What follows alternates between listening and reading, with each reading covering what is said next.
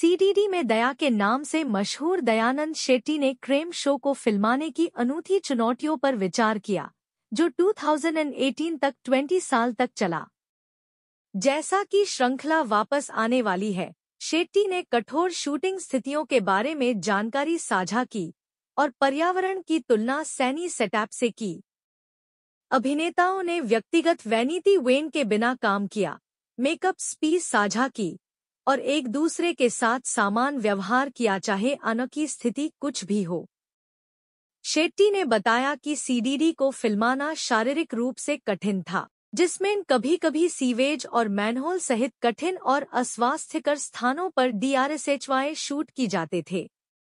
अनहॉन इस बात पर ज़ोर दिया कि कलाकार प्रामाणिक डीआरएसएचवाई डीन के लिए प्रतिबाद्ध थे और अनहॉन चुनौतीपूर्ण सेटअप को कभी अस्वीकार नहीं किया।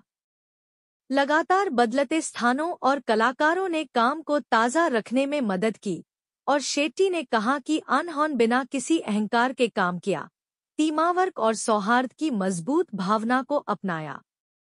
प्रशंसक बिसब्री से शो की वापसी का इंतज़ार कर रहे हैं। उम्मीद है कि यह वही आकर्षण और धैर्य बनाए रखेगा।